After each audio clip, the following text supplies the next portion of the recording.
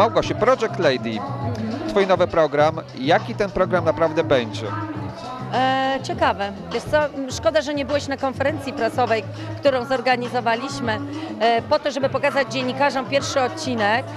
E, bardzo się podobał. Był, bo to jest bardzo dynamiczny program, który wiesz co, z jednej strony bardzo wzrusza, z drugiej strony bardzo rozśmiesza.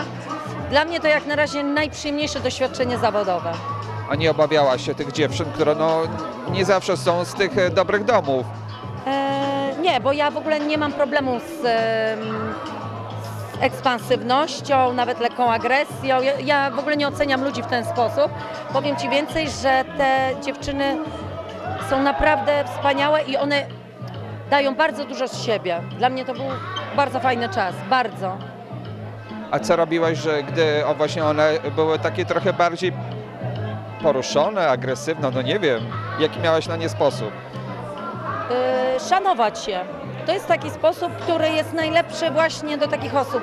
Y, One bardzo często się spotykały z ostracyzmem towarzyskim albo z e, jakąś taką nieprzyjemnym ich traktowaniem, bo same się źle zachowały, ale zachowały się źle, bo nikt nie nauczył, jak zachować się dobrze.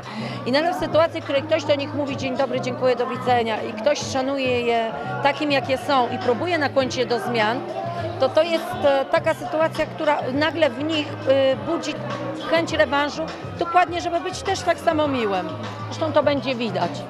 Nie wszystkim się to udało, ale ja nie miałam nigdy żadnego problemu. Będą damami?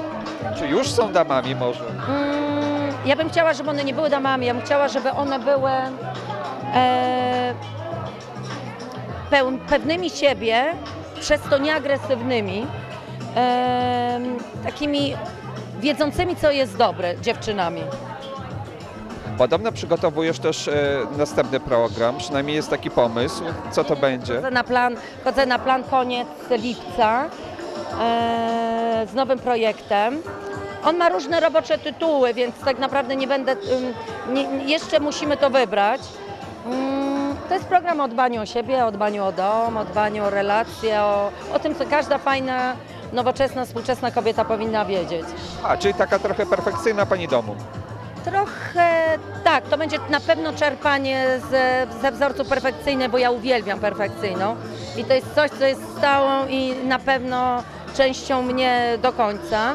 Ale to będzie też e, powiększone nie tylko o takie e, czysto pragmatyczne dbanie o dom, ale też i o fajne kino, o fajną muzykę, o fajne, fajne książki. Tematyka będzie poszerzona i rozumiem, że oba programy to już będą murowane hity na lata w ramówce TVN-u. Taką mam nadzieję. Ja każdy program, który robię, uważam, że będzie murowany kitem. Nie zawsze to się udaje, ale zawsze bardzo się staram. Dlaczego dzisiaj nie ma Radka? Radka nie ma, bo jest euro i tylko dlatego ja tu jestem, bo e, ja z reguły bardzo rzadko wychodzę z domu, bo jak jest radio w domu, to my sobie siedzimy razem.